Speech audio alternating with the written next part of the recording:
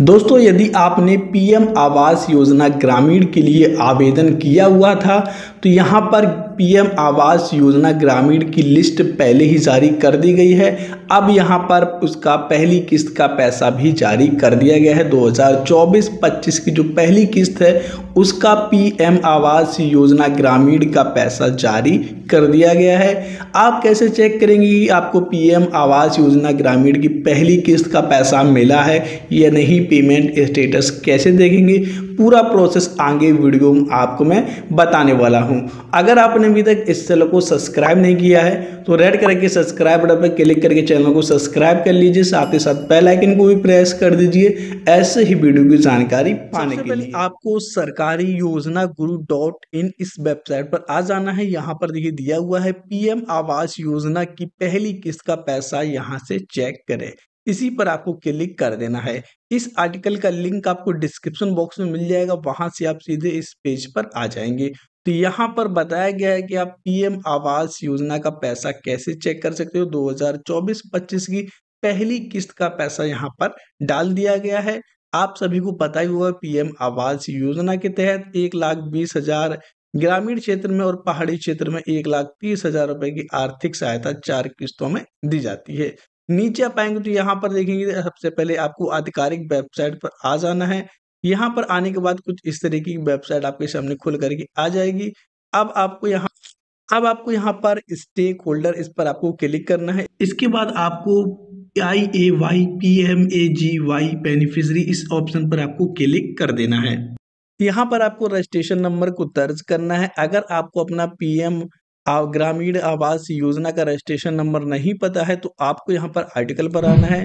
और यहाँ पर यह भी बताया गया है कि आप रजिस्ट्रेशन नंबर को कैसे पता कर सकते हैं। यहाँ पर देखिए दिया हुआ है पीएम आवास योजना ग्रामीण आवेदन का रजिस्ट्रेशन नंबर कैसे पता करें? तो यहाँ पर इसका भी प्रोसेस बताया गया है। आप यहाँ पर पूरा पढ़ करके अपना रजिस्ट्रेशन नंबर निकाल सकते हैं। तो रजिस्ट्रेशन नंबर आपको यहाँ से निकाल लेना है। रजिस्ट्रेशन नंबर को आपको एंटर करना है, यहाँ पर फिल करना है और उसके बाद आपको सबमिट के बटन पर क्लिक करना है। जैसे ही आप सबमिट के बटन पर क्लिक करेंगे, आपके सामने बेनिफिशियरी डिटेल खुल करके आ जाएगी। अब आपको यहाँ पर नीचे आना है। नीचे आप आएँगे तो यहाँ पर आपको ऑर्डर सीट डिटेल देखने को मिल जाएगी। यहाँ पर देखिए दिया हुआ इंस्टॉलमेंट तो यहाँ पर फ़र्स्ट इंस्टॉलमेंट है फाइनेंशियल ईयर यहाँ पर आप देखेंगे 2024-25 है।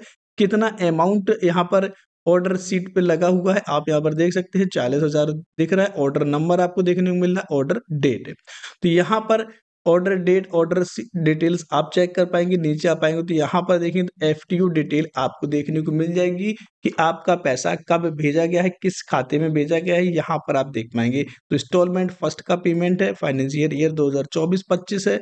अमाउंट कितना है? चालीस हज़ार रुपए एफ़ नंबर आपको देखने को मिल जाएगा। पेमेंट अकाउंट नंबर तो यहाँ पर लास्ट के फोर डिजिट आपको देखने को मिल जाएगी। अकाउंट नंबर के जिस भी अकाउंट में पीएम आवास योजना ग्रामीण का पैसा गया है यहाँ पर आपको लास्ट के फोर डिजिट देखने को मिल जाएँगे।